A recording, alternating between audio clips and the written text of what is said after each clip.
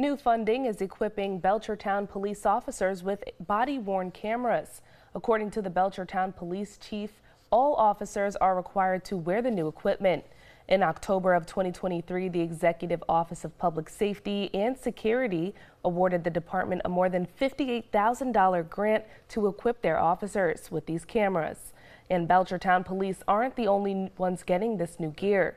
11 other police stations across western Massachusetts were awarded their own set of funds. For a full list, you can visit our website at WWLP.com.